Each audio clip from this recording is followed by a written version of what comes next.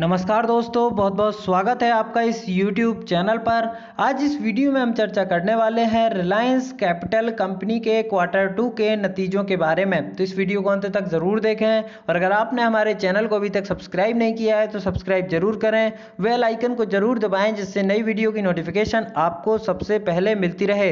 मैं हूँ money control की वेबसाइट पर और सात नवंबर दो हज़ार बीस के दिन ये न्यूज़ पब्लिश की गई है। इस न्यूज़ के अनुसार Reliance Capital quarter quarter 2 net loss within uh, multi-fold to the rate of 2577 crore यानी कि आप देख सकते हैं रिलायंस कैपिटल जो कंपनी है उसके क्वार्टर टू के नतीजों में कंपनी को भारी भरकम लॉस उठाना पड़ा है। आप देख सकते हैं लगभग 2577 करोड़ का यहाँ पर कंपनी को लॉस हुआ है।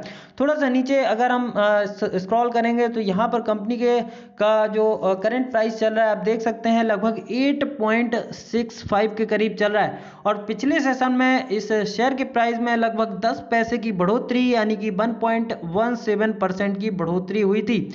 अगर थोड़ा सा नीचे स्क्रॉल करेंगे तो आपको जो रिज़ल्ट हैं, उसकी यहाँ पर प्रॉपर अपडेट मिलेगी। देखिए, आपको यहाँ पर बहुत ही इंटरेस्टिंग है, ध्यान से सुनना है एकदम Reliance Capital on Friday reported multi fold widening of its consolidated net loss at the rate of two five seven seven crore in the second quarter ended September of the of this financial year. The company had posted a net loss of rate of 96 crore in the quarter ended September year ago. तो आप देख सकते हैं यहाँ पर जो पिछले साल की इसी अवधि के क्वार्टर की बात करें तो यहाँ पर कंपनी को केवल और केवल 96 करोड़ का लॉस हुआ था। लेकिन इस बार अगर बात करें तो ये लॉस बढ़कर इतना ज़्यादा हो गया है कि परसेंटेज में निकालना मुश्किल हो गया है। आप देखेंगे, यहाँ पर लगभग कंपनी को बहुत ज़्यादा लॉस हुआ है और मुझे लगता है कंपनी को लगभग 2500 प्रतिशत का लॉस हुआ है। बहुत ज़्यादा लॉस आप देख सकते हैं। यहाँ पर जो अनिल अंबानी की कंपनी है और अनिल अंबानी के ऊपर तो जो है बादल छाए हुए हैं यहाँ पर मुसीबत के।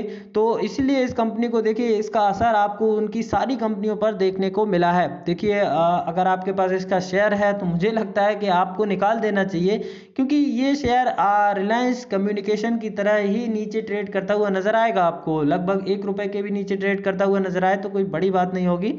क्योंकि देखिए कंपनी में कुछ बचा नहीं है, ऊपर ऊपर कंपनी दिख रही है और नीचे बीच में सब खोखला हो चला है, इसीलिए ये सब हालत हो गई है। ठीक है, नीचे अगर बात करें तो the loss in quarter under the review was also higher as compared with the rate of one zero nine five crore in June quarter of this financial year तो आप देख सकते हैं जून क्वार्टर में कंपनी को जो लॉस हुआ था, वो one zero nine five crore का हुआ था।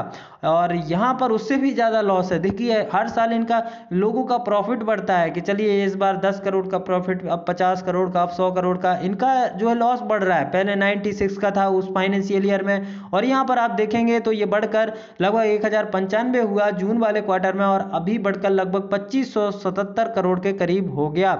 अगर हम नीचे बात करें तो total consolidated income fell to rate of 4929 crore in July September period 202021 uh, from the rate of uh, 5064 crore in the year ago quarter.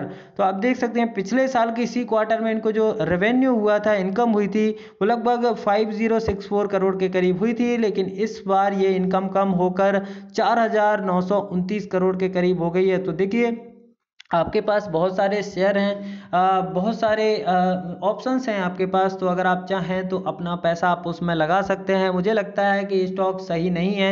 अब देखिए बाकी आपकी मर्ज़ी होती है, जो निवेशक होता है, वो किस मैंटेलिटी के साथ, किस माइंडसेट के साथ ट्रेड करता है या इन्वेस्टमेंट करता है, वो उसकी अपनी परिस्थिति होती है। तो आपको डिसीज़न लेने का पूरा अधिकार है, और अगर आपने इसमें पैसा लगाया है तो कुछ सोच ही लगाया होगा, लेकिन मैं सजेस्ट नहीं करता जो भी कंपनीज़ हैं, जो खोखली हो चली हैं या फिर जिनके पास कुछ बचा ही नहीं है, ऊपर ऊपर ढांचा दिख रहा है और जिनके प्रमोटर एकदम पूरी तरह से बिखर चुके हैं, उस कंपनी में कभी भी पैसा नहीं लगाना चाहिए और उस कंपनी में पैसा आप कभी भी बन भी नहीं सकता है। आप देख सकते हैं, इतना ज़्यादा लॉस हुआ है। देश शेयर आठ रुपये पर ट्रेड कर रहा है, आठ एट पॉइंट सिक्स फाइव पर।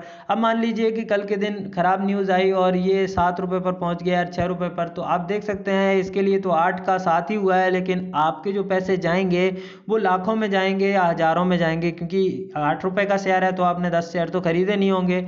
इसके शेयर आपके पास हज़ारों या दो हज़ारों होंगे तो आपका जो लॉस होगा, वो भी हज़ार में ही होगा। तो आप यहाँ पर ध्यान रखें आपको बेचना है, नहीं बेचना है, मेरा सजेशन यही रहेगा। देखिए, अगर आपको थोड़ा सा भी ऊपर प्राइस मिलता है तो आपको इस शेयर में से निकलने में ही भलाई है, क्योंकि दिनों दिन इसका प्राइस जो है घटता जा रहा है, और जैसे ही अच्छी खबरें आती हैं फिर से खरीदना इस शेयर को। क्या दिक्कत क्या है? अगर मान लीजिए कभी इसकी परिस्थिति अच्छी होती है तो आप इस शेयर को फिर से खरीद लें, क्या दिक्कत है? अभी येस बैंक भी इसके ऊपर चढ़ बैठा है रिलायंस कैपिटल के ऊपर, क्योंकि बहुत सारा जो उधार है, वो इस कंपनी ने नहीं चुकाया है तो बेच बाच के, इस कंपनी के जो एसेट्स हैं, उनको बेच बाच के अपना जो है, उधार चुका रहा है यस बैंक भी। तो देखिए काफ़ी सारी मुसीबत यहाँ पर जो है, कम होने का नाम ही नहीं ले रही है अनिल अंबानी के लिए। तो देखिए, आपको संभल कर ट्रेड करना है, और आई थिंक आपको ये जो वीडियो है, और ये जो इन्फॉर्मेशन है, काफ़ी ज़्यादा पसंद आई होगी, और आपके काम की भी रही होगी।